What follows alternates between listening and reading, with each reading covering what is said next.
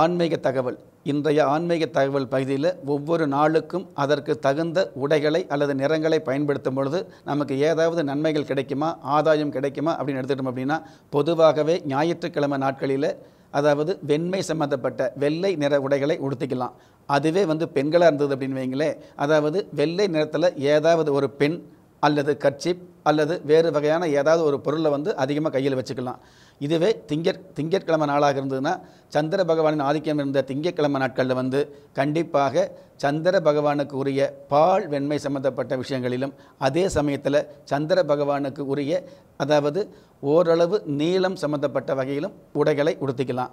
இதே மாதிரி செவ்வாய்க்கிழமை அங்காரகன் பகவானுடைய ஆதிக்கம் இருந்த செவ்வாய்க்கிழமை பழுப்பு நிற ஆடைகளும் புதன்கிழமை நாட்களில் பச்சை நிற ஆடைகளும் வியாழக்கிழமை நாட்களில் மஞ்சள் நிறத்தில் ஆடைகளும் வெள்ளிக்கிழமை நாட்களில் கண்டிப்பாக வெள்ளை மற்றும் மஞ்சள் சம்பந்தப்பட்ட கலந்த ஆடைகளையும் சனிக்கிழமை நாட்களில் நீலம் கரு நீலம் கருப்பு வர்ண ஆடைகளையும் உ- உபயோகப்படுத்தலாம். இதில் வந்து இந்த மாதிரியான கிழமைகள் தெரியாதவங்க பொதுவாகவே பல வர்ணங்கள் கலந்த ஆடைகளை உபயோகப்படுத்தும் பொழுது நவ கிரகங்களுடைய நன்மையான கதிர்வீச்சுக்களை உண்மையாக சந்திக்கக்கூடிய வாய்ப்பு ஓரளவு அமையும்.